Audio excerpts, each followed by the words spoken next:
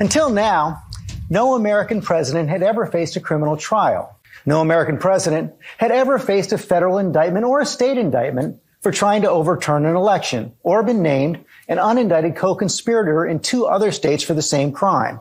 No American president had ever faced hundreds of millions of dollars in judgments for business fraud, defamation, and sexual abuse. Until now, no American presidential race had been more defined by what's happening in courtrooms than what's happening on the campaign trail.